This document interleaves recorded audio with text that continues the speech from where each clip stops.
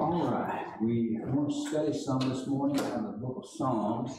Would turn your Bibles to Psalms, the 20, 20th chapter, 21st chapter, not 20, 20. Look and see for sure. Yeah. Let's read chapter 20. Uh, There's uh, seven verses here in uh, chapter 20 in the Psalms, the book, the book of Psalms. I'll get my tongue untwisted here in a minute, and we'll go about. All right, in my distress, David's saying here to, uh, as he cried out, we, if you study Psalms, read Psalms, any, you know that this was one of the things that David was always distressed about, problems. Uh, uh, the Lord had made him a great king, and uh, but still, all in all, he had problems. He had family problems. He had women problems. He had every kind of problem that could uh, uh, hinder a, a fleshly man. But he's he's always saying in his in his condition. So here he says it's a uh, a prayer of deliverance is what he's asking for, uh, and it says in my Bible here from lying lips. And of course, David realized this morning, and we ought to realize also that we are in this flesh, and this flesh is uh, is uncertain, it's sinful, and he says here it was from lying lips. But anyway, uh, in the Bible it reads, "In my distress I cried unto the Lord, and He heard me." And you know that's a wonderful statement this morning that we uh, really and truly like to make because sometimes we cry out to the Lord and uh, we wonder, well, uh, did He hear? Well, listen, I, I can I can say this, I believe, and uh, and believe it that the Lord always hears because Jesus Christ hears our prayer and He takes it to the Father, and the Father will hear it from Him. And so here He's saying this morning that he was in this, this distressed condition and he cried unto the Lord and he heard me. He knew he heard him.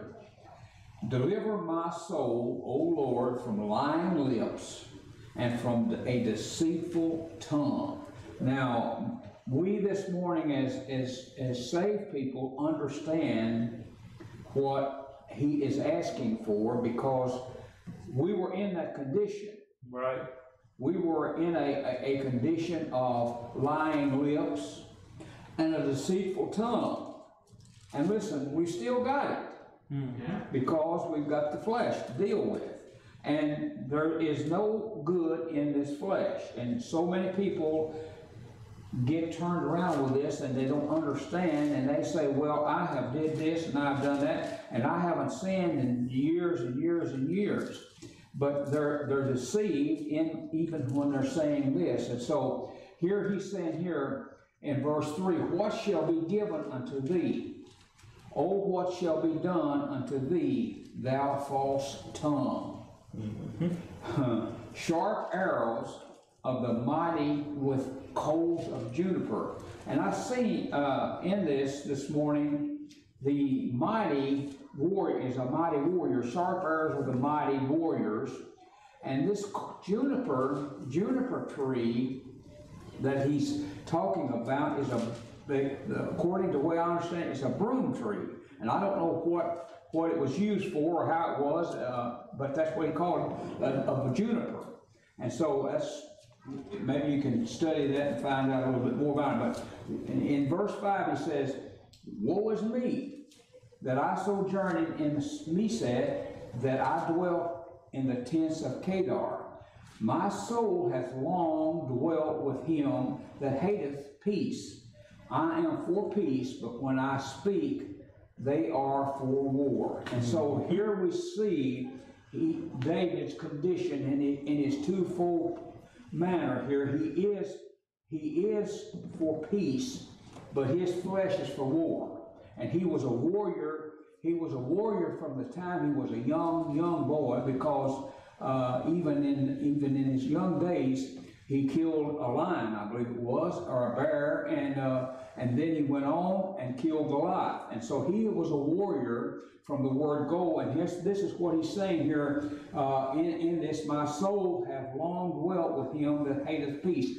I am for peace spiritually, but when I speak, they are for war. And so this morning, we, we need to, to get, I'm reading this to get the picture of the flesh and what the, how it differs from the spirit. But notice, now we're going to go to chapter 21. When I lift up mine eyes unto the hills from whence cometh my help, my help cometh from the Lord, Amen. which made heaven and earth. Now notice, uh, uh, he clarifies this thing of where his where his peace come from, and he says, "I will lift, up mine eyes unto the hills, and from whence my help cometh, or my whence cometh my help. My help cometh from the Lord, Amen. which made heaven and earth." And so this morning, when we, uh, uh, you know, a lot of people think that. Um, uh, they can worship statues and they can worship trees and they can worship mountains and they can worship houses and all these things. And uh, this is, is this is all right in the eyes of the Lord. Well, listen, it's not all right in the eyes of the Lord for you Amen. to worship anything except Him through Jesus Christ and through the Holy Spirit. That's the way that we're to worship the Lord. And this morning, we certainly need not leave the, the Holy Spirit out because, listen, that's where that God, through Jesus, sends a message to our souls through the Holy Spirit. He speaks to our hearts and He comforts our hearts, and, and He is the comforter, as Jesus called Him when He said, I will send you a comforter, and that is the Holy Spirit. And so this morning, if you're to get comforted, in any of your life's problems, of any of your health problems, or of of any problem that you have, it's going to come through the Holy Spirit. Amen. Because He is the comforter. Amen. And this morning, we don't need to be ashamed to say that we believe in the Holy Spirit. We don't need Amen. to, we don't need to be ashamed to raise our hands and, and say hallelujah to Amen. the Father. Because listen, that's that is uh, in Hebrews, I believe it is seven. There, that's that is the uh, praising the Lord, hallelujah, and and hallelujah, and that's what Amen. they used back in the Old Testament is hallelujah. And so this morning we need to use that. So notice here in uh, uh, 21, he says, uh, verse 3 He will not suffer thy foot to be moved, he that keepeth thee will not slumber. Behold, he that keepeth Israel shall never slumber nor sleep. Now, this is one of the things that you can depend upon with the Lord. He don't sleep, he don't slumber. He he's always aware of what's going on in your life and my life. He's always aware of what you need. And listen, he takes care of those that he loves. Amen. And it may be that you, you, you get doubting about him, well, don't do it. Because listen, there is a time, according to Ecclesiastes, for all things. And what you need may not be now. What you need may be out in the future, or what you think you need, you may never need it. But listen, the Lord knows what you need. The Lord knows what you're asking. The Lord knows everything about you. So don't give up on the Lord a second because Amen. He is He is always sitting right there on the throne, and Jesus Christ is sitting right beside of Him according to God's word, and He is making intercessions for us through uh, the Holy Ghost, the Holy Spirit. And so this morning, these are some of the things that you need to remember about the Lord Jesus Christ, because He says here, "Behold, uh, He will never, He will not suffer thy foot to be moved." And I'll, over over in the scriptures here, we're going to look at just a minute about uh, David saying that his foot had almost slipped. And listen, we get so close sometimes uh, to that, and we sometimes the devil will put it in our in our mind that are uh, that we've already slipped, that we've already he'll he'll put it in your mind that you can fall from grace. He'll put it in your mind that that God don't love you. He'll put it in your mind any ungodly thing that he can think of, and he's strong and he knows what he's saying or doing. And so, listen this morning, be be careful and just just rely on the Lord, and you can you can you can rock right back like in a rocking chair and rest on his word because, listen, it's true. Amen. And this is what he's telling us. No, so now, uh, he said here in, in uh, 21 5, the Lord is my keeper, the Lord is my shade upon thy right hand. And I'm assuming what he's saying by being shade, shade will protect you from the heat. Amen. And I'm, I'm sure he says it's on the right hand. And so this morning, he is always a protector for you. And in the uh, heat of the battle or in the whatever you're in, he's, he's, he's your shade, he's your protector, and it's with your right hand or he's, he's, he's saying the right hand because it's better than the left hand. And so he said here, verse 6, the sun shall not smite thee by day, nor the moon by night. The Lord shall preserve thee from all evil. And listen, people, that don't mean that don't mean half of the evil that's coming out of the world. This morning, in, in this this worldly condition that we're in, evil is is on the up upbring, upswing, and Right. evil is out there. But here, I want you to understand this morning what it says, and you may, you may, you may get spit on, you may get cussed, you may do this, you may do that. But listen, remember this. Here he says, "The Lord shall preserve thee from all evil; He shall preserve thy soul." The Lord shall preserve thy going out and thy coming in Amen. from this time forth and even forevermore. And so when we get down in the dumps and when we get to thinking that we're being mistreated, well, we probably may be. But the thing of it is, you always remember this that God knows every little sour word that's been put to you. He knows every little temptation that the devil is trying to tempt you with. He knows every evil thing that's going on that's trying to distract you from serving Him. He knows it. And he says here, he says he will preserve us, he will protect us, and he will will be with our coming in and going out. And so when you say coming in and going out, that means all the time. Amen. So here, here again, he says uh, in in uh, so 122 now, and I was glad. And here is here is what I was studying, but I wanted to read this and, and kind of bring it into you. But but here he says, and I thought to myself as I was studying this and reading this and and and and uh, hallelujah about it, uh, it's such a good thing this morning that I can go to church. It's such a good thing this morning that I know the Lord. Amen. It's just a good thing this morning that I can bow my head to God and praise His holy name. It's a good thing. And listen, it's a wonderful thing because we know this morning that we're secure because the Holy Spirit comes in and comforts our hearts. Amen. So we are secure, we're comforted.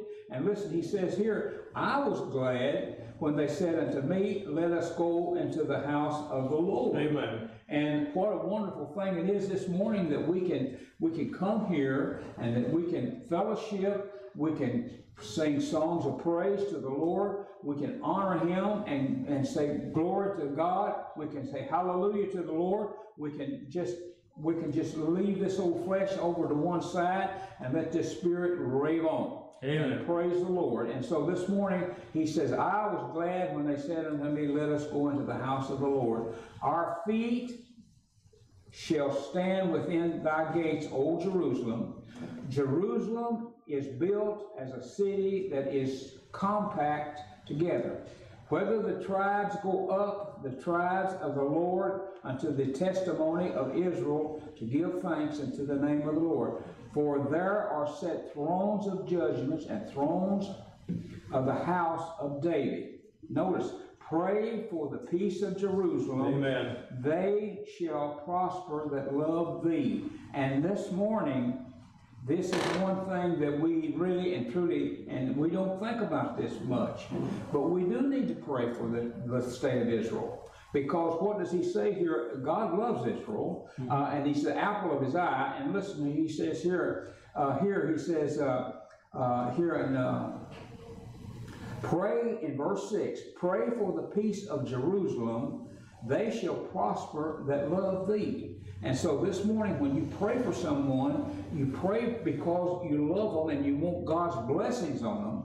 And we need to pray for the state of Israel, and we need to pray for the state of the United States this morning that the Lord might uh, deal with them and bring them back into peace, and that we could live more comfortably than we do. And so, but Israel, Israel has got a terrible situation to go through, people. They're going to go through some times that they haven't never went through. So we need to pray for them. We need to pray for our country and for for for the things that the devil is trying to control, which he is this morning, and pray for them that uh, the Lord will take this this away from him and not let him do it. So here again in verse seven, peace be within thy walls and prosperity within thy palaces. For my brethren and my companions say, I will not uh, say peace be within because of the house of the Lord our God. I Amen. will seek thy good. And so here again we see that we want to we want to get back in this now just a little bit, and we want to. Uh, when we, want to turn to page number seven, I mean the chapter 73, and read just a little bit more that we found about this uh, uh, uh 123. So 170. I mean 73, I'm sorry. 73. We'll, we'll. Okay, 73. Now notice. Let me find it here for me. Okay, and well, let's go verse 1. It's 73, verse 1. Truly, God is good to Israel, even to such as are of a clean heart. Amen. But, David's saying here, but as for me, my feet were almost gone. My steps had well nigh slid or slid, slipped. And here is a condition this morning, and I spoke of it a while ago. This is this is a condition sometimes that a Christian gets into, mm-hmm. and he gets to doubting. He gets to doubting. What am I doing wrong? Uh, what can I do? What can I say? What? But listen, when we get to that condition, we don't need to ponder on the thought of what can I do? Because then you involve works. Mm-hmm. And listen, there's no work uh, that is as good as going to the Lord in prayer and just keep on praying to Him because listen, you know that prayer is getting to Him if you're saved because He has Jesus sitting to the side of Him and He has the Holy Spirit uh, to help uh, comfort. And so you know that that's getting there, and, and sometimes you pray and you pray and you pray, and it, it just don't seem like it gets there.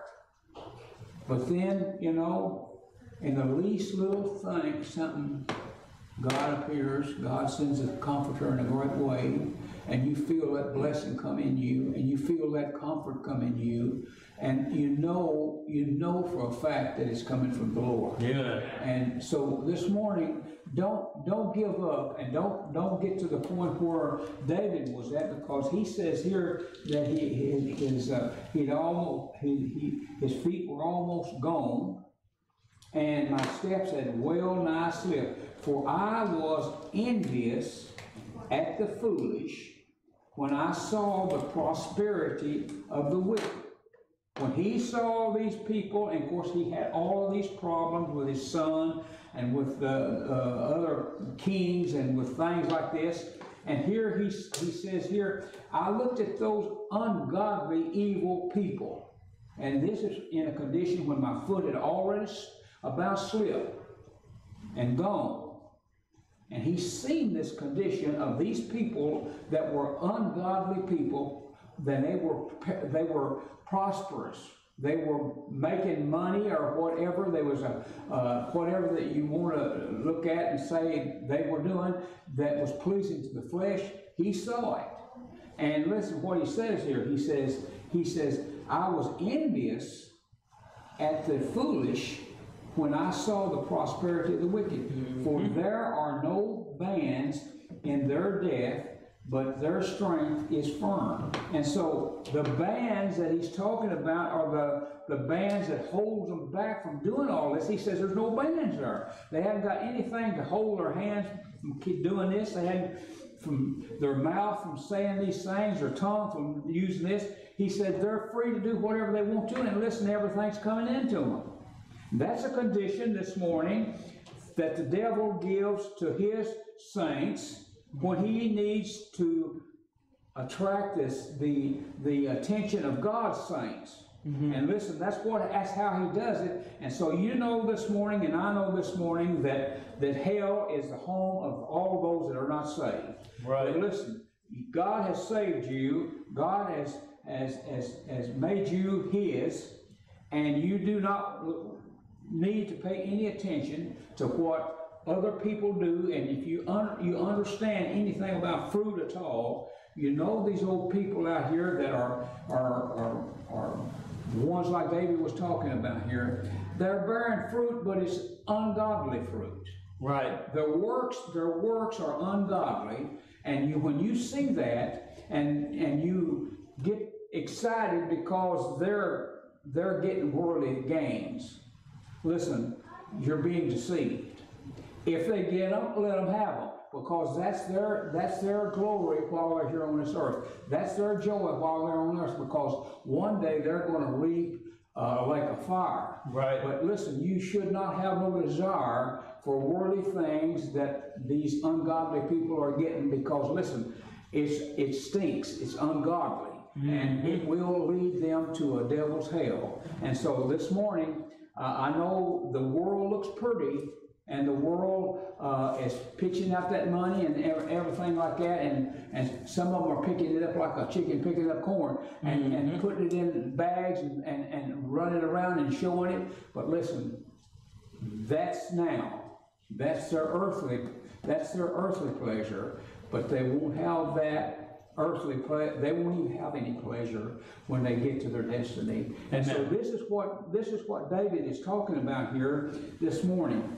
He says about their bands, for there are no bands in their death, but their strength is firm. They are not in trouble as other men, neither are they plagued like other men.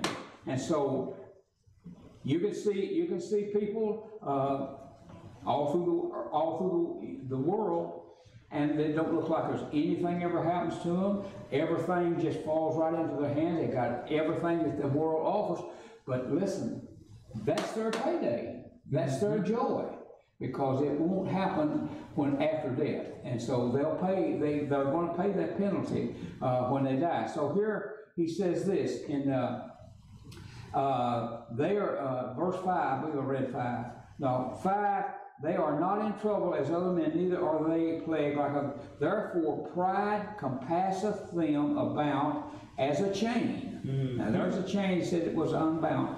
And their eyes stand out like fatness, and they have more than heart could wish. They are corrupt and speak wickedly concerning oppression. They speak lofty.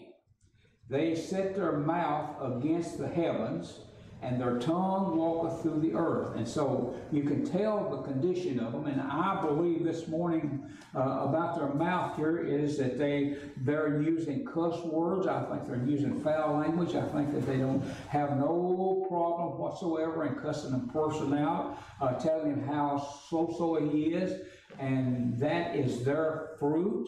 And listen, when you see someone standing and cussing someone or calling them a so and so or this or that, listen, you know that fruit that they're bearing is sour. And you know you can judge a person by the fruit that he bears. Uh, and listen, you know their condition. But listen, your problem is that you need to, and you, it's not a problem to you, but you, you want to, uh, for all means, pray for that person. And, and, and, and, and you know, that's, it- that's the only hope they've got. Amen. Because they're sold out to the devil and he's their God. But you and I can pray for that person and ask God that he might turn that person, he might save that person, might show that person their, their evil deeds and, and strengthen them, and that they might come to be a child of God. Amen. And that's, that's, that really, boils it down to what our thing is this morning. We are to pray for one another, and we are to pray for those that are lost out there, those that, uh, like they treated Jesus, they spit on him, they pulled his beard, they beat him. But listen, he didn't, he didn't say a word to them about that, but, uh, I'm sure that he's, he was sick at heart, and he prayed for them, I, I'm sure, this morning. So this morning here, uh, I want to get on just a little bit further. Uh, in verse 9, they set their mouths against the heaven, their tongues walketh through the earth. Therefore, his, his people return hither, and water, waters of a full cup are wrung out of them. And they say, How doth God know? And is there knowledge in the Most High? And these are some of the questions this morning, even that that people would ask you about who is God, where did He come from, how does He know these things? Is He is He is He a spirit? Is He this or is He that? But listen, and they say, How does God know? It, and is there knowledge in the midst Most High? Behold, these are the ungodly who prosper in the world; they increase in riches. Verily, I have cleansed my heart in vain and washed my hands in innocence. For all the day long have I been plagued and chastened every morning.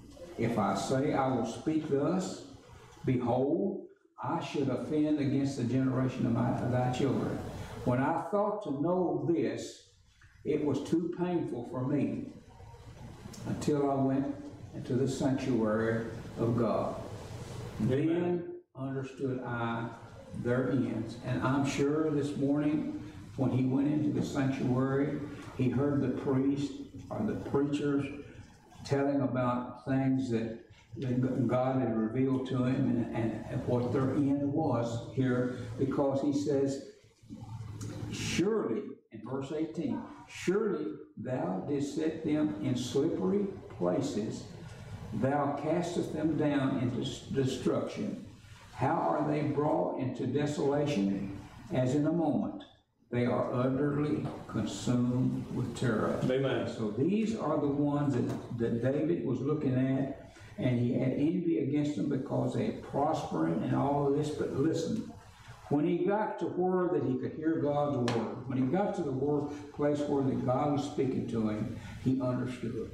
When he went in, he understood that. And so if we can understand this morning the, the things that are going on in this world, the killings and the, the, the, the killing of babies, the killing of, of old people, uh, and all of this, all of this stuff that's going on, listen, if we'll just think a little bit, we'll see their end. We'll know, we'll know where their end will be, uh, unless and unless we start praying for them and unless we start to, uh, encouraging other people to pray for them because that's the only thing that'll, that'll, that'll, that'll Right. help them. And, and, uh, and I want to read just a little bit more and I'm, I'm through. In verse 20, as a dream when one awaketh, so, O Lord, when thou awakenest, thou shalt despise their image. Thus my heart was grieved, and I was pricked in my reins. So foolish was I, and ignorant. I was at as a beast before thee. Now he's seeing when he envied over here what kind of condition he was in, and he's he's he's asking God to forgive him for this. And that's no notice here he says, I was as a beast before thee. Nevertheless, I am continually with thee. Thou hast holden me by my right hand. Thou shalt guide me with thy counsel, and afterward receive me to glory. Whom have I in heaven but thee? Amen. and there is none upon earth that I desire besides thee. My flesh and my heart faileth, but God is, is the strength of my heart and my portion forever. For lo, they that are far from thee shall perish. Thou hast destroyed all them that go a whoring from thee. But it is good for me to draw near to God. I have put my trust in the Lord God, and I may declare all my thy works. And so this was the end result of David when he realized that he had he had almost slipped. He'd almost slipped. But then he, he was he was he was upset and he was mad because of those people and what they, the the fruits and how they were how they were gaining. But then and, and, and, and this is the thing this morning, when I entered into the temple, I mm-hmm. understood. And listen, this morning, we need, we need God's word. It is, it is the only medicine that will heal an angry heart.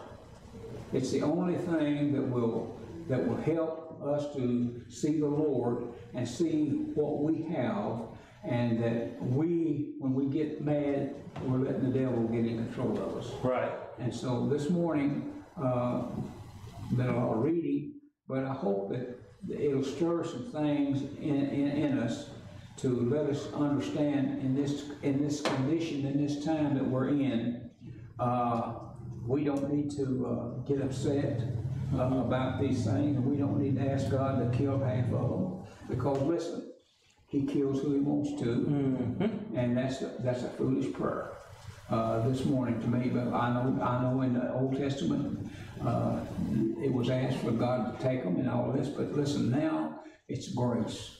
And, uh, He'll take care of the job. All we need to do is just take care of ourselves and pray to Him and ask Him for forgiveness for our sins. Because we, if we do that, we have a full-time job. Because we're, uh, we're full, we're full of sin. And, uh, our old flesh, it just, it's just mean. It's, it's sinful, and it's, uh, it's, uh, it's like a snake. You get a, a little baby snake, you raise it up, he'll bite you.